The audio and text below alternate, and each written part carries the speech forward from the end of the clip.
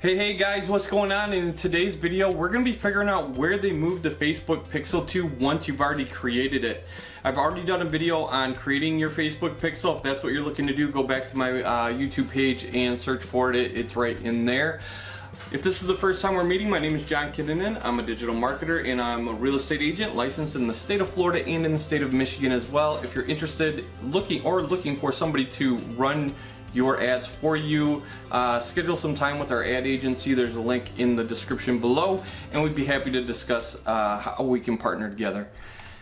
So, without further ado, what you do is you go to facebook.com forward slash ads forward slash manager. It'll take you right to this page. It looks very similar to this where we've been going through and we've been practicing setting up uh, ads if you've been following along. But today we're going to figure out where they've moved the Facebook Pixel to. So what you're going to do is you're going to click on all tools up here at the top. And as you can see, there is nothing in here that has to do with your Pixel. Nothing in here says uh, Pixel, right? Um, business settings, that's something that we just did a video on yesterday. Um, that's where you go to verify your domain with Facebook so that it's part of the new iOS uh, 14 update uh, and all the stuff that's going on with Apple. But if you go there or if you go back, look in my look on my YouTube page, you'll see how to do that. You'll actually probably see that on here there'll be a little exclamation point that still says it needs to be verified because it takes up to 72 hours or something to um, register. Anyways, so what you do is you'll go to, say this is the Facebook pixel that you're trying to figure out where the heck it is. You know, you want to install it on a different website. You've already gone through, you've created it. Now you want to figure out where is it. Um, part of this new update in 2021 is they've moved it. You know, you used to be able to find it. It was pretty easy. It was someplace in here. Um, you could find, figure out where it is. You know, it's not over here. We've already looked in here. There's nothing in here about it. Uh, but if you just come here, you go to add events. You go to from a new website click on install code manually it's going to take you over to here and what you do is you just copy this code right here.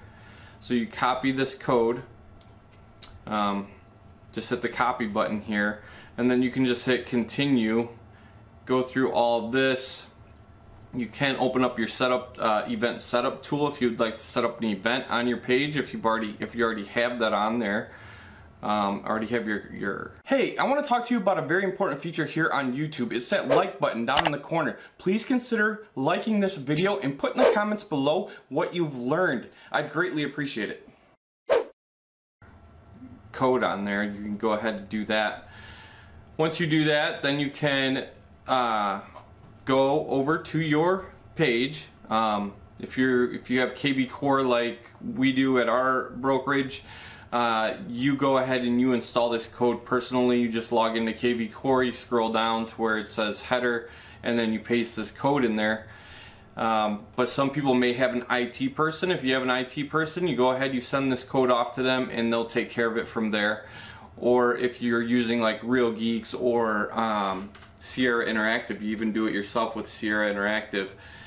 But if you have Real Geeks, you may have to uh, email it off to you. I know a lot of our students, some uh, have the Real Geeks platform, so they have to email it off to them. And then once you get it installed, if you're like, man, how do I even know I installed it? How do I know, even know if it's working? You can go and you can download this Facebook Pixel Helper.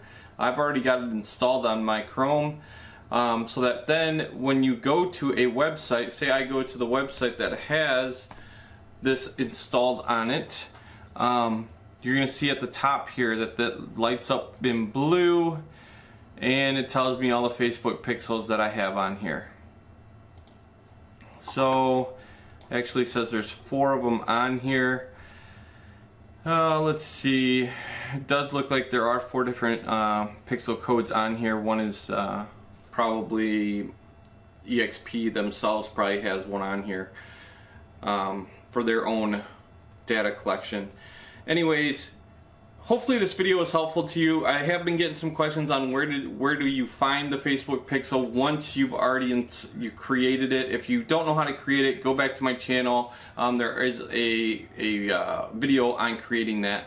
I would highly suggest taking a look at the video popping up in the right hand corner on Google Ads, how to set how to set up your Google ad, doing a whole tutorial on it. I walk you through A to Z on that.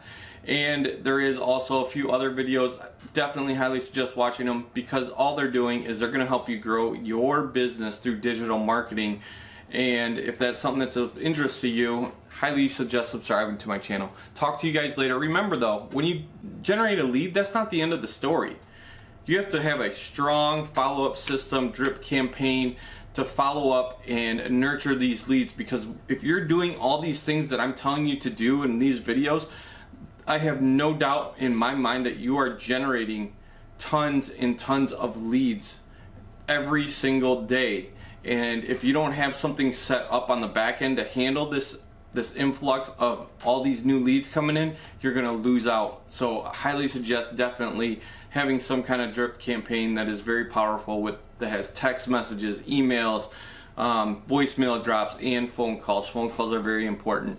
Um, talk to you guys later. Happy lead generating.